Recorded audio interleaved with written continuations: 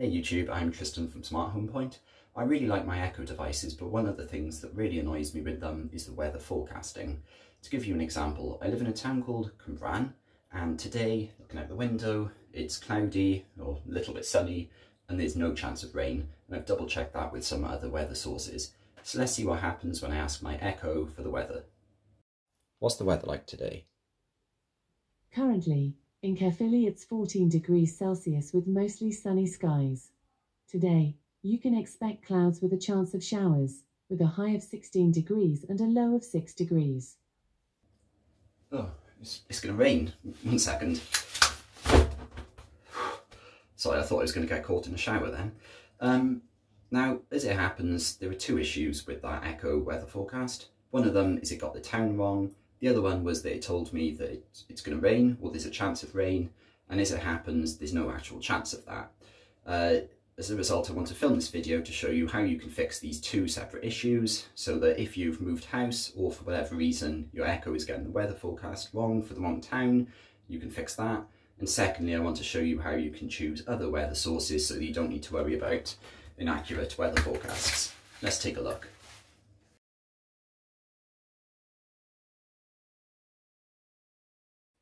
If your Echo device is giving you the wrong uh, weather for the wrong town, this might be a bit confusing because on your home screen of the Alexa app, right here it'll probably give you the correct town, so it's pretty confusing as to why your Echo device is getting the wrong town. One of the things you might have done to try and solve this issue is go to settings, and down in your locations, you might have gone in here, and you will have seen that your home is listed as the right town.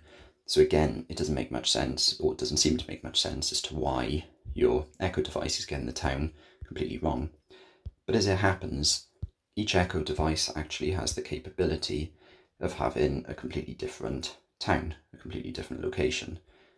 I think the idea here is that obviously if you've got multiple houses, or maybe you've bought an Echo for a, a family member, then you're able to actually have a different zip code for each Echo device that you have. Um, but still, they register to one account, so you can control everything there. Uh, so if we actually go into a particular device, if we scroll down to device location,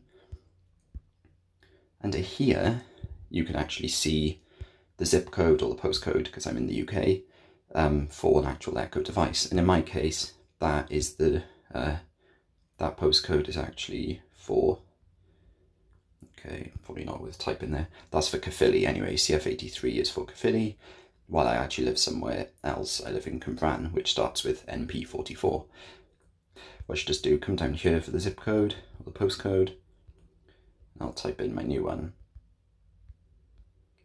And now I could carry on and put my full street address, but obviously I don't need that. My the weather forecast just based on the zip code is perfectly fine, obviously. So at the top now, I'll click on Save. And then it just says, please check any existing alarms, you know, make, make sure that they adapt to the time zone if necessary. Obviously, I don't have any multi-time zone alarms, so I don't need to worry, but click on OK. Uh, we'll go out to that. So if I go back in, let's just verify that's worked. I'll go to device location, you can see now that the zip code or the postcode is actually for Cwmbran, which is perfect. Right now in Cwmbran, Wales, it's 13 degrees Celsius with mostly sunny skies. Today's forecast is clouds with a chance of showers, with a high of 16 degrees and a low of 8 degrees.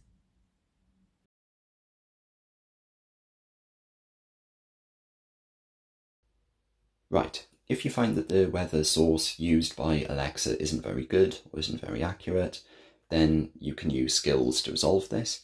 The reason you have to use a skill is that unfortunately AccuWeather is the default weather provider in Echo so or in Alexa. So when you say uh, what's my weather, that will always use AccuWeather. You can't change that default provider. But what you can do very easily is say to Alexa, you know, enable a, a weather skill and it'll use that. Uh, or you can do that via the app, uh, which I'll show you now. You come in, do a search for big, don't want big fart, want big sky weather. Right, so these are the, some of the different weather apps. Obviously, I'm going to choose big sky. because I just happen to know that's the highest reviewed uh, Alexa app. And with Big Sky, you can also do some nice questions, such as you can say, will it rain tomorrow or will it rain in three hours' time? So it's quite a nice app. Um, and obviously the ratings are a lot better than the default Alexa app. What you'll also find uh, with these skills is that you've also got skills tailored to your particular country. So in the UK, you can use the Met Office. Obviously in America, you're going to have the weather sources tailored to you. But in this case, I'll go into Big Sky. Uh, and it's just giving you examples of some of the queries you can actually ask it, such as will it rain in three hours, which is quite useful.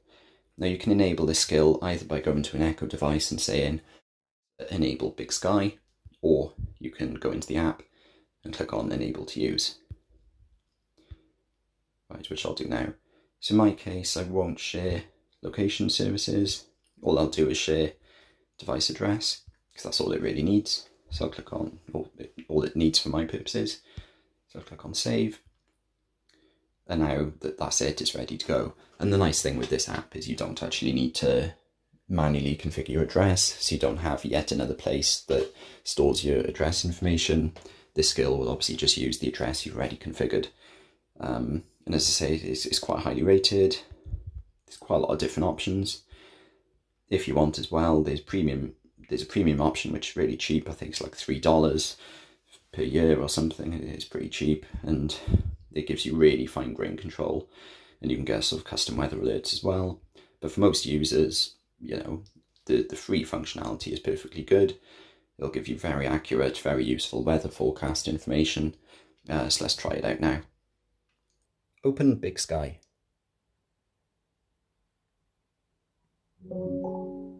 Currently, it's 19 degrees with mostly cloudy skies, remaining that way for the hour. Tonight, it should be mostly cloudy, with an overnight low of 12 degrees. Tomorrow, you might see light rain in the evening, when there's a 33% chance. The high will be 20 degrees. There is the following weather alert in effect. Yellow thunderstorms warning for United Kingdom, Wales expiring today at 11 pm. To hear the full alert, say what's the alert. To hear more details about your current request, say more details. More details. The high of 20 degrees occurred around 3:57 p.m. and the low for the day of 10 was at 3:18 a.m. The overnight low will be 12 degrees. Sunrise was at 4:56 a.m. and sunset will be at 9:34 p.m. Right now the relative humidity is 68% with a dew point of 13 degrees. The wind is coming out of the southwest at 4.7 miles per hour with gusts up to 6.3 miles per hour. Well, thank you. That's clearly a lot more information than you get from the default Alexa weather provider, so that's awesome. Thanks for that. Thank you for watching this video. I hope you found it useful. For me personally, when I moved house a few years ago, I always found it annoying that Alexa or my Echo devices would keep giving me the weather forecast for my old town, so it's nice to know how you can solve this issue. Equally, both my wife and I have found that AccuWeather, which is used by Alexa, isn't the most reliable for us in this area, so it's nice that we know about Big Skill and some of the other weather skills we can use to get more accurate weather forecasts for us. If you like this video, please click the thumbs up button and don't forget to subscribe. Thank you.